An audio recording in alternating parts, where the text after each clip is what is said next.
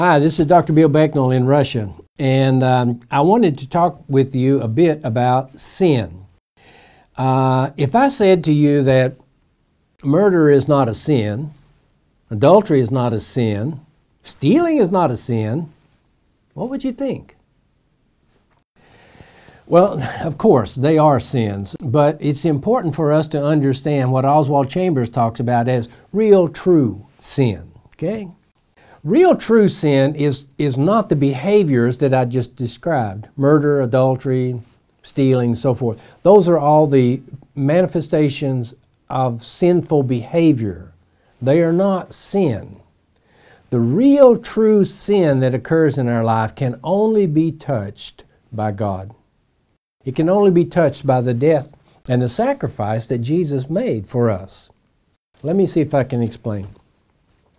Inside of us is something uh, we call the hereditary uh, element of sin. It's not the sinful behavior, it's what was passed to us through Adam's disobedience.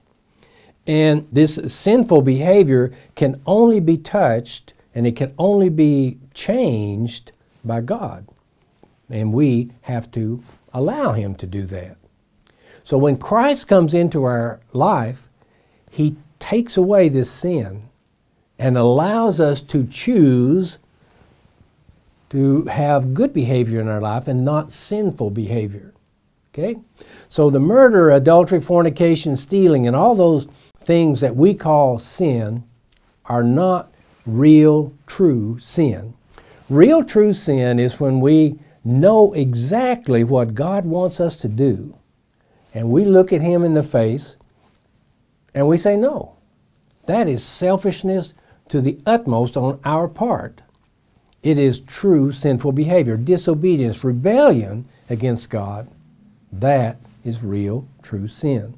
And as I was thinking about it this week, um, I am sorry, but I have to have to say the image came to my mind that when God is asking me to do something and I am knowing 100% that He wants me to do that, and I say no to Him and I choose to do something wrong, I spit in His face. That's what they did with Jesus. And that is such a hard image for me to, to deal with that I want to choose to do good things for Christ, do good things for Him. I don't want to harm Him in any way. And so I pray that you would make this internal change in your life, that you would crucify sin, that you would put it to death, that you would look at God and you would say, Yes, I am your faithful and obedient servant. What do you want me to do? And then you would do that. I understand that we will never be sinless. There's no way we can do that. But our job is that we need to try. And we need to allow God to be a part of our lives so that we always know what He wants us to do. So we invite you to come and see us, and we'll help you. we'll uh, take you to the homeless center, maybe out to the farm, give you an opportunity to express your desire and your heart for God and to bless His name with us in this country. So please subscribe if you like these videos. Uh, more contact information is down below, and uh, come and see us. We'd love to have you. Bye.